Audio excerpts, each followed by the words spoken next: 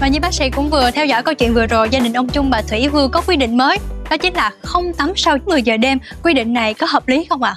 à, cái việc mà quy định à, không tắm vào cái giờ cố định nào đó thì nó cũng sẽ hơi khó khăn trong cái cái, cái sinh hoạt chung cả gia đình à, tuy nhiên thì à,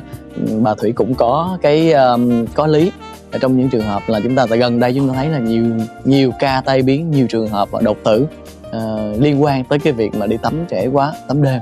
đó. thì à, chúng ta cũng nên tham khảo tại sao là có cái lý do này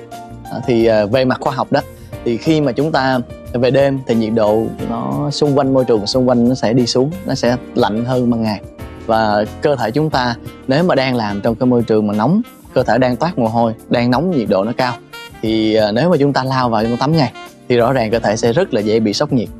à, và cái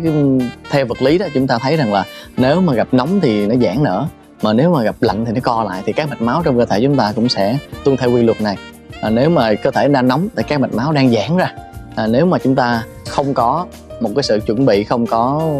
dùng nước nóng mà dùng nước lạnh chúng ta xối ngay vào người thì chắc chắn lúc đó các mạch máu nó sẽ co lại. Và là có thể như trường hợp nữa làm sao thay đổi huyết áp làm huyết áp đột ngột tăng vọt lên trong thời nhất thời thôi là ảnh hưởng tới nhịp tim ảnh hưởng tới huyết áp rất là nguy hiểm những trường hợp mà nếu mà có bệnh lý huyết áp hoặc là tim mạch kèm theo thì lại cực kỳ nguy hiểm có khả năng dẫn đến đột tử lúc nào cũng không hay Dạ, có nghĩa là ngoài việc mình dựa theo thời gian thì mình nên dựa theo nhiệt độ của cơ thể để uh, chọn thời điểm tắm cho phù hợp. À, đương nhiên chúng ta tắm sớm vào buổi chiều 4 5 giờ chiều chúng ta nếu có điều kiện tắm thì là rất là tốt rồi. Còn nếu giả sử như chúng ta không có cái điều kiện chúng ta buộc phải tắm trễ có những công việc mà phải về trễ quá người nó dơ quá thì chúng ta cũng thể tắm được vào vào ban đêm tuy nhiên muốn tắm thì chúng ta phải chuẩn bị à, tránh làm sao cho cái nhiệt độ nước và nhiệt độ cơ thể nó chênh lệch nhiều quá. À, nếu mà chúng ta có cái nhiệt độ mà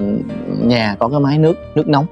à, thì làm sao chỉnh nhiệt độ nó vừa phải với nhiệt độ cơ thể. À, còn nếu mà nhiệt độ nóng quá cũng không được mà nhiệt độ lạnh quá thì lại càng dễ bị tai biến. Nếu giả sử như uh, có nhiệt độ nó vừa phải rồi chúng ta cũng nên có cách là không nên trực tiếp là dội nước thẳng từ trên đầu dội xuống. À, chúng ta có thể làm cho cơ thể chúng ta nó quen quen dần với nhiệt độ nước đó.